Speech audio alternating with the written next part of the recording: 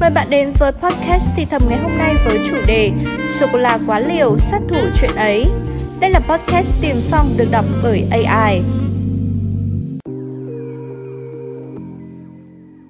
Chocolate vẫn được biết tới là thực phẩm kích hoạt yêu tuyệt vời, song ăn quá nhiều thì câu chuyện đã khác.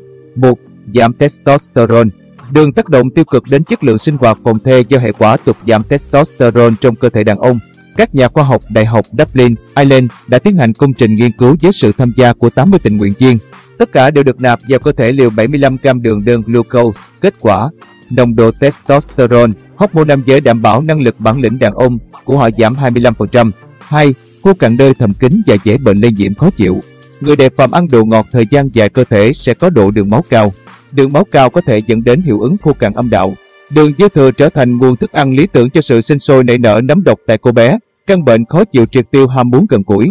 Thêm nữa, đường máu cao còn có thể là nguyên nhân xuất hiện các bệnh đường tiết niệu, trong đó có viêm bàng quang. 3. Mệt mỏi triền miên. Khi ăn quá nhiều các sản phẩm giàu đường đơn, nồng độ glucose trong máu sẽ tăng, buộc tuyến tụy phải tăng cường sản xuất insulin. Những nỗ lực của cơ thể nhằm khôi phục trạng thái cân bằng khiến cho người trong cuộc trả trời mệt mỏi. Điều này giải thích vì sao chúng ta sụp mi, thèm ngủ sau khi ăn hết khẩu phần khủng chocolate. 4. Thêm dài ngấn mỡ bụng. Tiếc rằng lượng đường dư thừa do chúng ta ăn không được đào thải ra khỏi cơ thể. Chúng tồn trữ ở dạng mô mỡ. Cho dù sự mũm mỉm được ưa nhìn ở phái đẹp, song ai cũng muốn kiểm soát chúng. 5. Kém thú vị bởi thiếu máu nơi thầm kín. Mạng lưới mau mạch vận chuyển máu nuôi dưỡng toàn cơ thể. Chúng đóng vai trò cực lớn trong thời gian vợ chồng quan hệ. Khi người trong cuộc hưng phấn cao độ tìm bơm máu đến dụng cụ đàn ông giúp nó cương cứng, bơm máu đến nơi thầm kín, giúp cô bé mẫn cảm hơn với động chạm.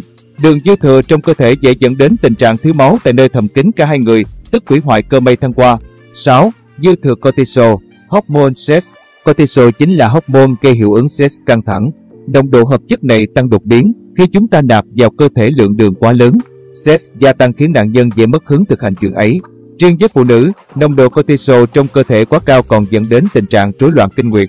7. Có thể dẫn đến neuropathy, bệnh thần kinh ngoại biên. Ăn nhiều đường còn có thể dẫn đến neuropathy, bệnh thần kinh ngoại biên do hệ quả tổn thương thần kinh. Run tay chân hay thậm chí đau đớn khi cử động là dấu hiệu điển hình của chứng bệnh này. Bệnh có thể tiến triển tác động lên mạng thần kinh ngoại biên dùng đáy chậu và cản trở nghiêm trọng sinh hoạt thầm kín vợ chồng.